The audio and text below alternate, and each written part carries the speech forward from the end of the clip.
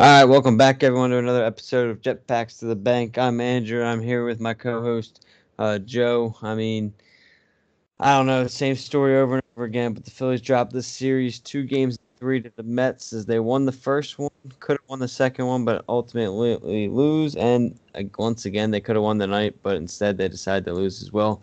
First off, Joe, what are you feeling today? Uh, not too great. I mean, I did put in a a uh, bet for the Bengals too, and they ended up coming up a little bit short. So you know, nothing worked out other than the fact that Baker threw an interception, and I did put in a bet for Baker or Burrow to throw an interception, assuming that would be Baker. And even though he had a pretty good game overall, he still got that pick for me. So thank, th- thanks, Bake Show. At least you got, at least you won one. Yeah. But uh, well, first, for, real quick, all right, talking about football before we get into the Phillies. I didn't watch much there. I didn't watch any of the game. I was watching baseball. But Joe Burrow, 61 passes as a rookie, second career start in the NFL, and him throw 61 times. I mean, I, I got to fix that up. But uh, I don't want to get too much into them. Yeah, they also but, probably would have won if their line was not worse than the Eagles. Like, man, they honestly looked worse than our offensive line. that's pretty hard to do.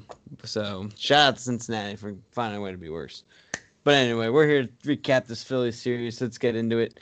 First off, why don't we start tonight? We had a nice uh, uh tonight. We start with uh, before we get into the actual games. Shout out to former first round, first overall pick, 2016, and uh, Mickey Moniak finally got the call up yesterday. Uh, did not receive any playing time yesterday, rightfully so against a arguably the best pitcher in the game, Jacob DeGrom. Not the guy you want to make your debut against. So they decided to give him today. Goes 0 for 4 with a walk. I mean, before we get into the series overall, what were your impressions, or not impressions, but what was your overall intake of uh, Mickey Moniak there in left field to start his uh, MLB career?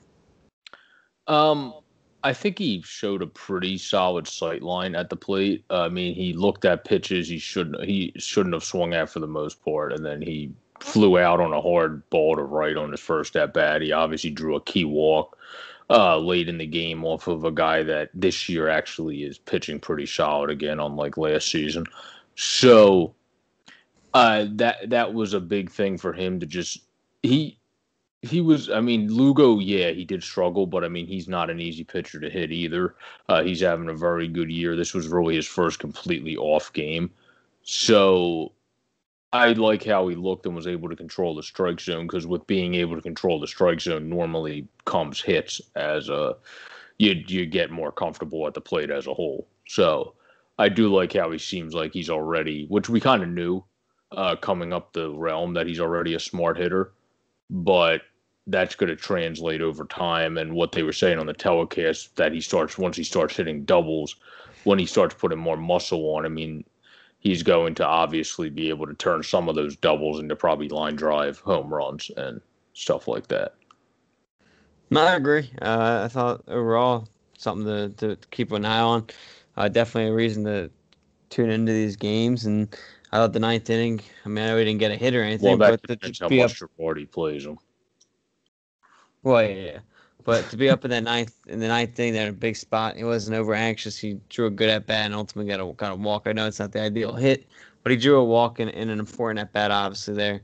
Uh, so I thought that was a good sign there, not to see a young guy over anxious like that. So I think that was a good takeaway there. Um, but hey, again, before we jump into the actual details of the game, another thing, story to take or headline to come out of this one was the injury bug continues to hit you. Obviously, you, you saw Hoskins and Realmuto miss some of the Marlins games, and you knew they weren't going to play this series.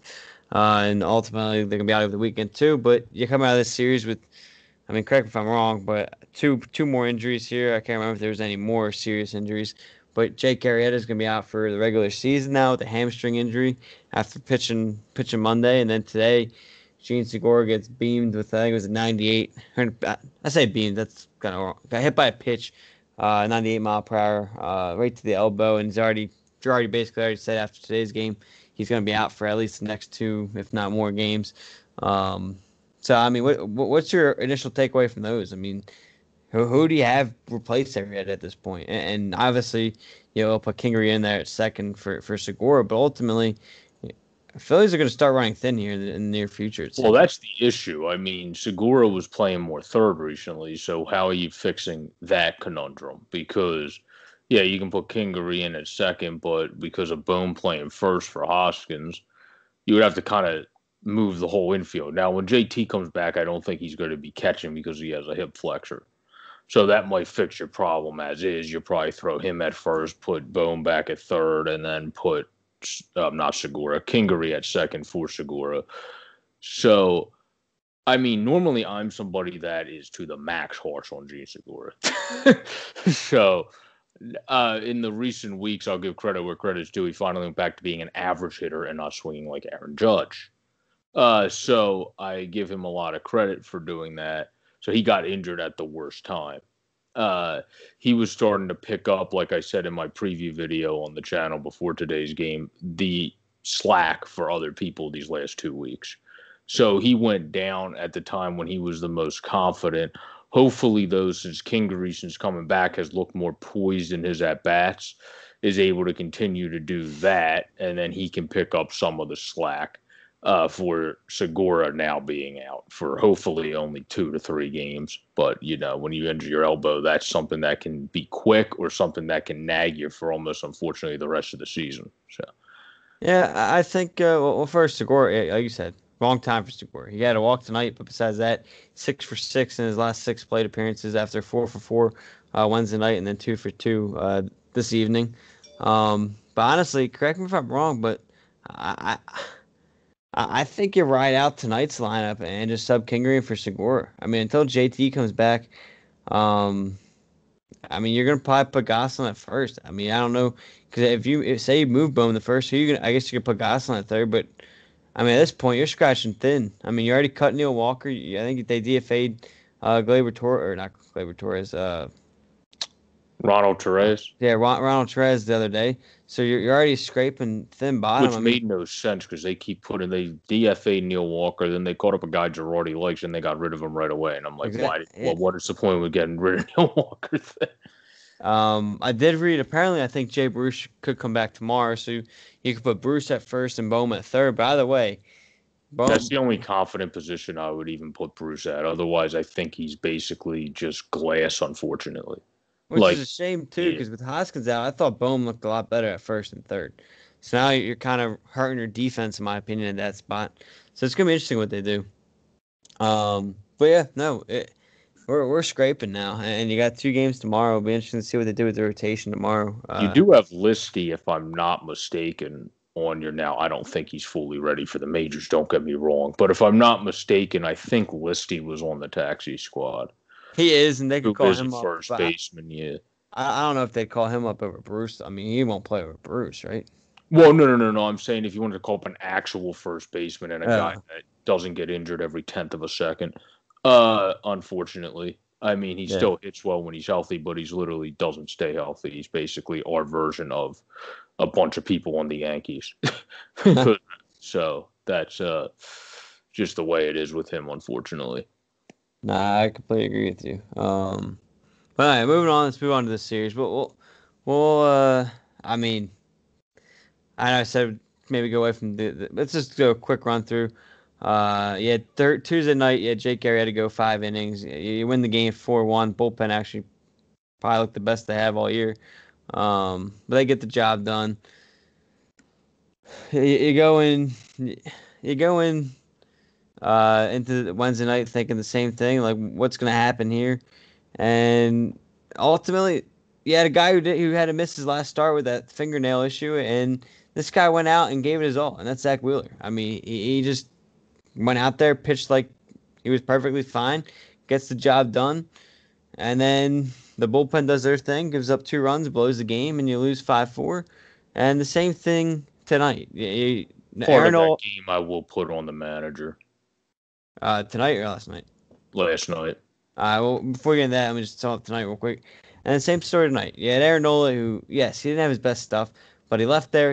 I mean, he had a bad first inning, settled down after that. He left the game with a 6 4 lead, I believe, and it all went downhill from there. Um, you give up six runs in the next three innings and you lose 10 to 6. Um, also, I can question the manager tonight as well. So let's start with the manager because it seems like you got something on the manager. So, well, what what was your issue with the manager? And I mean, what, well, what do you just think of him overall this year so far? I kind of texted you, obviously as a joke. I'm not going to ask somebody as a manager if they have 120 pitches. Hey, can you still go out there because our bullpen is abysmal? Uh, but with 95, I think it was, if I'm yes. not mistaken. Yes. Uh, he could have still pitched the rest of that inning, and yes, he has a messed up finger, but as Wheeler even said in the post game, it didn't bother him that much. So if it wasn't bothering him that much, plus he clearly showed it wasn't bothering him that much, other than on one pitch that he gave up a home run. And I mean, it that that just happens in general. In, in most games, sometimes you throw one or two pitches that you leave over, and the guy took advantage of it there. But I mean, I think he, with the way he was cruising and going, you should have let him go a little bit. He probably would have finished at like 105 if he had a pretty good inning, uh, clean inning there, and let him finish the eighth inning, because then you would have had uh, Hector to just go for the ninth and try to figure it out. Hopefully, up by two rather than uh, up by one, if I'm not mistaken. I think we were at the point of when uh, Hector came in, so that would have helped us out a lot more rather than we'll be tied when Hector came. I think we were tied. Yeah, Hector. I think Hector Morgan, came, Morgan think, came in up one. Yeah, Morgan tied it. Morgan giving up a hit tied it up. I forgot about that. So well, then no wonder Hector sucked. He can't pitch when we're tied. But I'm gonna call it, I'm gonna call it the defense here too. Ricky Bo said it as well. I don't know if uh, you know you watched a lot of the post games too. I don't know if you watched yesterday's, but one, I mean, uh, that's I get it. I disagree with you already taking him out too. But you go to the ninth inning. Are you kidding me, Hector Neris? You're gonna drop the ball like that? like that? That's just that's unacceptable. Like get set, deliver the ball, and that turns into a balk, and then you get forced to walk a guy you were gonna pitch to, and then ultimately I forget the next guy, but he, he comes up and he knocks in the, the game winning run there, which yeah. ultimately should have been caught as well. I, I agree with Ricky Bottalico. True. Hey, Haseley misjudged that ball. And if he wouldn't have misjudged it, he doesn't have to sit there and jump. Uh, instead, he's getting underneath yeah, that ball and, and, he catches it at the fence. Um, so another misplayed ball by the Phillies defense. Uh, I'm not going to sit here and call I think it. it's also. I'm just going to sit yeah. out and call call it the entire Phillies defense because outside of Haseley too, I can't remember who had the error last night, but we had another error as the defensive on the defensive side. So it's more than just that. And I mean, it, it's these little things. It's what separates you from being a good team yeah. and a bad team. You have to make that play, but the other thing is when you're throwing guys in an outfield that are used to playing center field. Like for example, Moniak in left has played a lot of center field in the minors. I wouldn't be surprised if you see him misjudge a ball because there's way different slants and angles of the ball coming at you from the corner outfield. And like I said in the pre video, that's not Major League Baseball. That's just baseball in general. Go play in high school. There's different, plenty different angles hit at you from right field to left field than there is at center. So I also think that's bad managing because Quinn has played in the corner a lot more than Haseley recently. And he's done fine wherever you put him if you wanted to move somebody, it should have been Quinn, not Haseley. But it, it, but he's still on him for not making the play. But I also think you have to put guys in their most comfortable position, and guys that you think are actually starters. Where lately Quinn has been shown to be a platoon player. So. No, I don't disagree with that. I just I don't know those guys well enough that, that maybe he does prefer that, we don't know. Um, maybe he does talk to him. I mean, he's done it all year with those two, so we'll, we'll see what happens. But it's moving on to tonight's game. I, I don't know what was more frustrating, last night or tonight. I, I really don't. Uh, both terrible losses, but I said uh, going into today, I said yesterday was the worst loss of the season, and then today might have been worse, honestly. Um, but again, Aaron Nola struggles. You, you, pick him up, and he leaves the game at six four, and the same thing happened. And, and I don't know about you, but this is where my issue came in. Is with a bunch of lefties coming up in that ninth inning, instead of going with JoJo Romero or Adam Morgan, um, instead you go with Workman, who's been absolutely terrible. I'm not going to sugarcoat it. He's been absolutely terrible. Uh, his curveball sits there for anybody in the world to hit. Uh, I mean, it really just hangs there. It, it might be the easiest curveball in the league. Um, but but he comes in, gives up another three runs, add that to his resume with the Phillies. Um, before Cleavinger comes in and gives up the last one. Yeah, because uh, Romero didn't pitch yesterday. Only Morgan did, and also if you can't pitch back to back games when you pitch two thirds of an inning, then you have an issue there. So. Yeah, I, am with you. I, I, think they should have went Romero. He's been the best reliever on the team outside of him and Parker. Uh, yeah, I think those two have probably been the most consistent, at least on the team so yeah, far this year. Putting Garrett Cleavinger after Brandon Workman didn't do very well, who's a rookie against Cano, who's having one of his best seasons since about four years ago uh, this season. And I don't know what made you think that was a brilliant idea because, I mean, yeah, the dude has looked like he can be something eventually from when you watch him in the minors. Now, probably not because he doesn't have the best control. And you kind of saw that leaving one up and in to Cano, which yeah, usually lefties like it down in, but if you've seen Robbie Cano before, when you leave it in that spot, just like Harper killed his home run, normally if he picks up on that, he's going to smoke that thing just like he did. So that was bad pitch sequence to begin with, if that unless if he missed his spot. Uh, but other than that, that wasn't the best pitch sequence either. But two, he shouldn't have been in the game. Yeah, no, no, I completely agree with you. Um, unfortunately, it's the way it is. I, I, I don't know what's going to change. I, I mean, at this point, I don't think anything. And I think I think it was you used the word in our chat, or maybe you directly messaged me. But at this point, this team's just a disgrace. I think it was you that used that, right? Yeah, yeah, I put that in both things. I think. Eh, no, but you're absolutely right. I mean, at this point, it's it's the same thing every night. And here, we're not gonna. Let's not let the offense get away with anything either, because they they do know they're allowed to score after the fourth or fifth inning, right? Like they do know the game's not over, right? Yeah, well, unfortunately, the guy that's been setting our trends uh, lately, McCutchen, who's been doing good at the top of the lineup, really struggled tonight and went 0 for 5. He had two strikeouts, left three on base, and then after Moniak drew his walk, of course, got out with the bases loaded. And then big time, his first game struggling of the season, which I mean he is a backup, so I don't know how much I can truly get on him. But Knapp played a very big game and left seven people on base. Granted, he's getting overplayed right now, just like Phil Gosselin is because of injuries. Uh, th- that shows usually just naturally, eventually, when you're but, overplaying. But here's my thing that's fine. Uh, you, everyone will have a bad game. But I'm not going to give the rest of the offense a break. Even with those guys, even with McCutchen going over 5, even with Knapp going over 4 tonight, two guys that have been on, but they struggled tonight, you still scored six runs in the first two innings without them doing anything. So what about the rest of the guys? Like, what happened to the rest of the team? Did they just took the night off? Like, I don't, I, I don't know what the, what the story is here. It, it obviously needs to be fixed. yeah, the only people that did good tonight were three through five until Jean got injured, and then Kingery got out in his one at bat. Because uh, Harper was two for three uh, because he also had two walks, and then Bohm was two for four who had a walk, and uh, Gregorius was two for four. Um, and then Segura was two for two before he came out. Yeah. And also and then, had to walk, obviously, because he got hit. So. And then Haseley had an RBI as well. Yeah. Um, but no, it, it's honestly tiring. It's really the same thing every night, and I don't know, I don't know what's going to change because at this point, I think th- this is who the team is. I really like, and you're scratching for dear life right now, and who knows whether you're going to be able to uh, survive. I mean, at this point, ahead of us right now. What is it? I said I think we know whose team's ahead of us right uh, now. I'm gonna get there. Don't worry. um, but no, at this point, you're only sitting a half game above um, the St. Louis Cardinals for the final final playoff spot.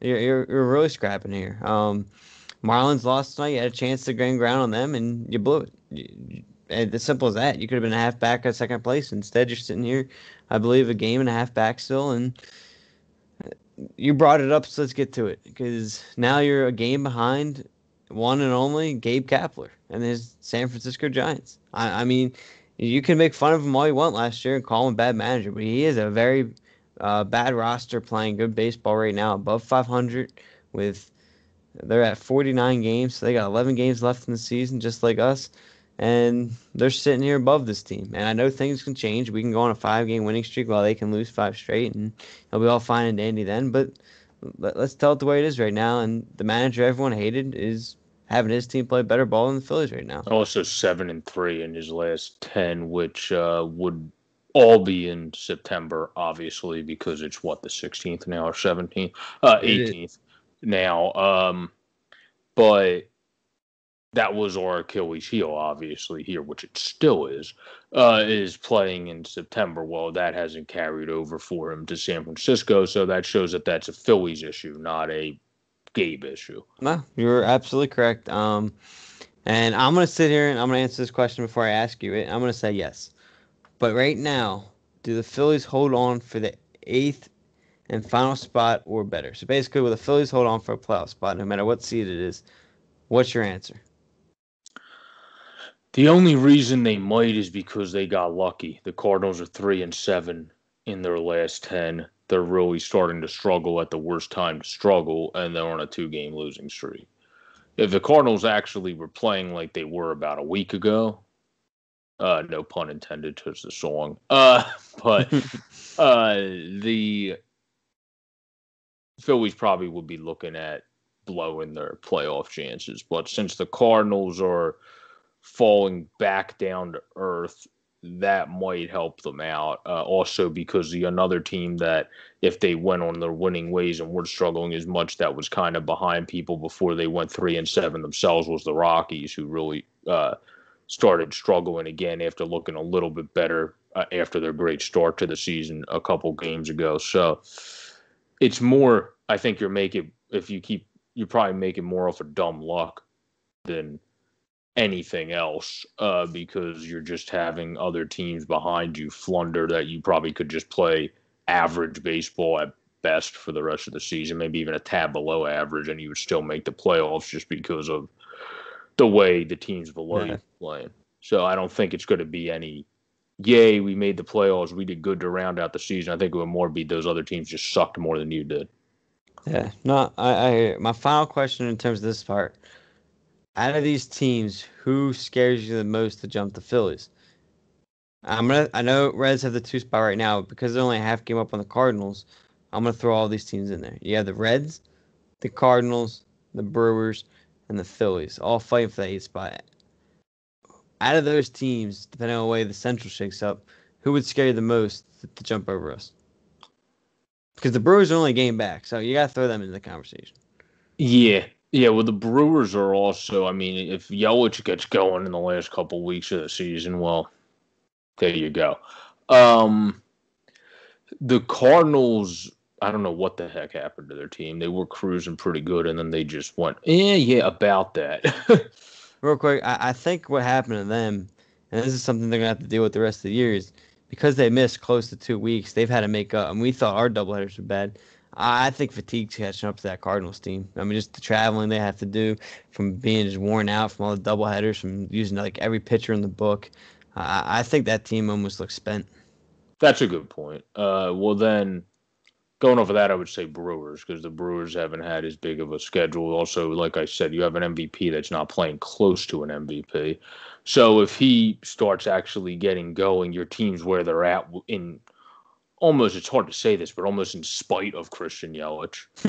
uh, so like that's uh, so saying that if he's able to get going, then you really, really, really can start doing something uh, here. He's been seeing the ball better. He's been drawing more walks recently. His uh, hitting you still would like to see him be able to slam the ball around a little bit more, like the you know, uh, if you're a Brewers fan, uh, like the Yelich you know, but that hasn't happened to this point. He's still 208 in his last seven games, so he hasn't improved his average. He's just seems to be kind of seeing the ball a bit better. But yeah, that team's so weird because when you look at their hitting, it kind of blows. oh yeah, no, I, I agree. Like their averages are not good on that team at all this year. Yet they're still figuring out a way because guys stepped up for them in the pitching department, like Suter as a reliever or a um, opener, and then Corbin Burnes uh, has been ridiculous. Uh, so, I mean, th- that's just kind of everything's kind of just falling into place for them. And uh, what's his name? Uh, you got the spark of, um, I believe they, yeah, they won six nothing over the Cardinals. Uh, yesterday.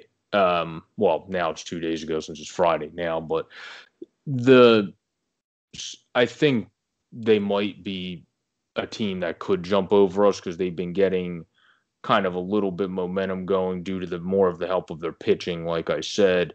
And you just have Braun reach a milestone. So when you have a career player reach a milestone, sometimes that can be an energy boost for your team. So we'll see what happens there. Tomorrow's the next game. And they also play Kansas City. so we also have to keep in mind the Cardinals play Kansas City to round out the season. Then they have a tougher series potentially, um, or not the Cardinals, the Brewers against Cincinnati, but that also depends if Cincinnati keeps doing good up until next Monday or if they start coming back down to earth. And so, then you have St. Louis. So literally these all these teams are playing each other. So the likelihood is one of them's probably going to get in. The thing is, will two of them find a way to get in and then knock the Phillies? So that's actually advantage Cardinals though in the end because, well, I guess it doesn't matter because they're not chasing the Brewers. But those two teams have to play each other before the Brewers face them. So that'll be interesting how it plays out. But I'm with. I, I think the Phillies um, hang on for that for a playoff spot, whether it's eight, whether they move up to seven. I don't know the Giants' schedule off the top of my head, so interesting to see what they have to finish out the year with. Um, they got Oakland this upcoming weekend, so obviously a very tough series. Maybe the Phillies can gain some ground on that. Real quick, without like going in too much, obviously Blue Jays been playing. They've been playing better baseball than a lot of people think. You get four games with them this week. I'm going two and two. What's your overall prediction? Phillies come out of the series win, series split, or defeat in the series. What's your take to wrap things up? Um, uh, I don't know if this changed. I mean, there's no starters outside tomorrow's set. Phillies yeah. throw Eflin game one, haven't announced game two. The Blue Jays are going with the lefty Robbie Ray for game one, while they're going with Ross Stripling game two. After that's not decided, we'll see what the Phillies do. But obviously, you'd expect. Well, actually, I don't know what you're going to do without Arrieta, so I don't know who they're going to call for or not. So we'll see what the Phillies do. I guess Ranger. I feel like that might be why they well, sent him down on, to stretch him out.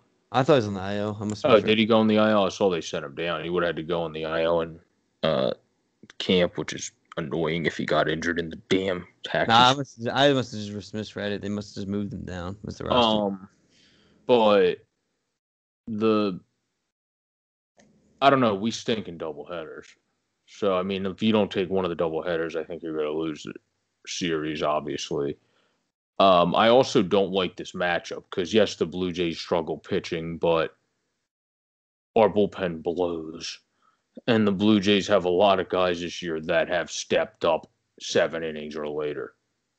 Well, that doesn't match up well against the Phillies bullpen to have a lot of guys that step up in the seven inning, inning mark or later. Except for tomorrow, you don't have to worry about that because you're only playing seven innings. but the next two games unless if they literally walk it off in the seventh inning of the first game, since they're technically the home team. Um, honestly, I don't have much confidence in them beating Toronto. I mean, they haven't shown me anything to to give me confidence in them beating a team that's offensively touted.